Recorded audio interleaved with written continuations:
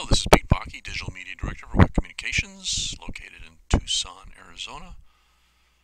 And uh, today I'm going to talk about making sure that after you place an advertisement into the Blox uh, ad manager system, that you're able to get good statistics for your advertisers. In other words, that you can report at the end of the month and have a good, uh. And the way to do that is to assign a business to the advertisement. And that's what we're going to do right now. For example, I'm working with uh, the Capital Journal in Pierre, South Dakota. And uh, they have an ad here for Comfort Inn. I'm going to go ahead and double click on it. And here we have uh, a small image of the ad itself. We can make it a little bit bigger, take a look at it determine exactly what it is. It's of course it's a Comfort Inn. Go ahead and hit cancel. Over here in the related tab, I'm going to click on that and it says business add. I'm going to click on add.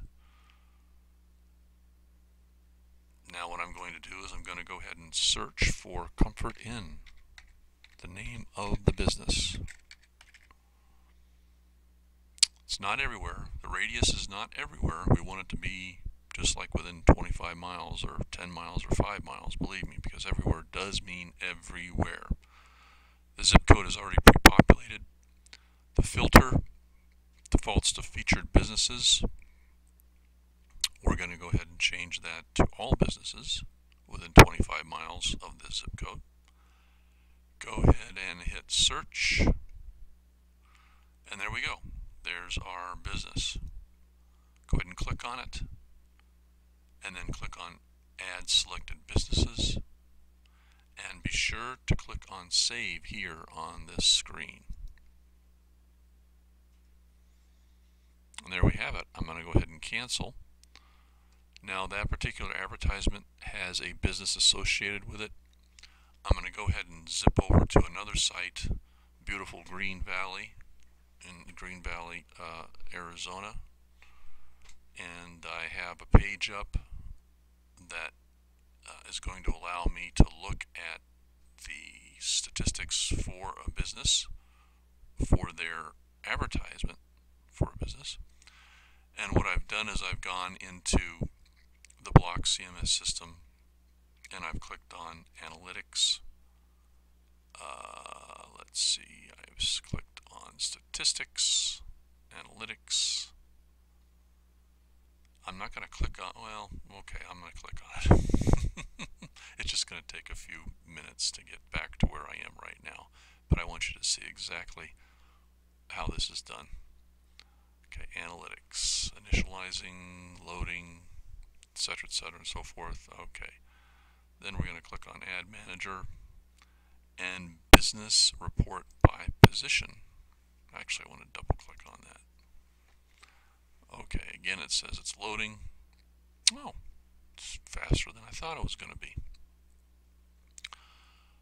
We're almost done. Basically what we're going to do here is we are going to, under business name, we're going to hit the down arrow button and it's going to list all businesses that have been assigned to advertisements. And I'm going to go ahead and click on Jim Click Ford do a search, and here we are back to where we were about three minutes ago. But you can see exactly how I got here. Okay, let's go ahead and click on the page curl. It says ROS run a site, page curl, the ad ID, the ad name, the business name, the number of impressions and the clicks. What I'm going to do is I'm just going to click on print and here we have a print version of the report.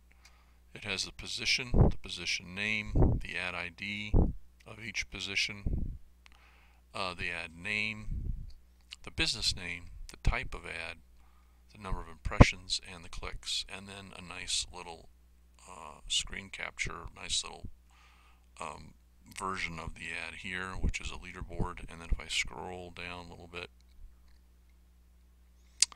uh, we have the skyscraper.